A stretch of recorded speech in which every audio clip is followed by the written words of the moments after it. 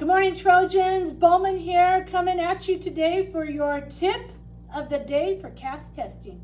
You know, sometimes I like to get up and get a little exercise, get the blood flowing, you know, kick and stretch and kick. Ah, that felt great. Let's go out and see what some other guys are doing.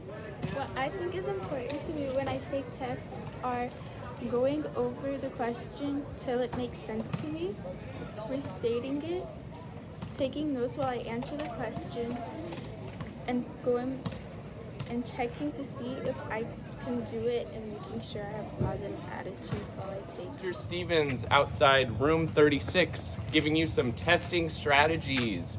First item, uh, process of elimination. The answers you know are wrong, eliminate them from your head. Don't even think about them. Start looking at the ones you think are right. Annotate, annotate, and annotate. And by the way, did I say annotate? Hey, do you guys know how to highlight? You know how to circle important information? Do that. Hey guys, Officer Baton here.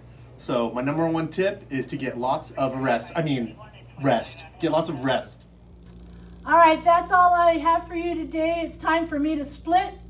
So you guys have a great week and think about that test.